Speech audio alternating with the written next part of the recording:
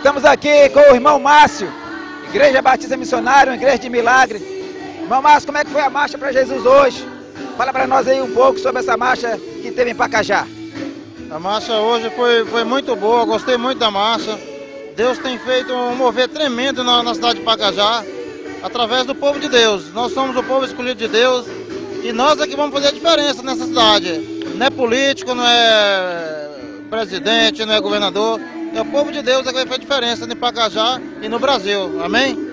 Amém, irmão Márcio. Valeu.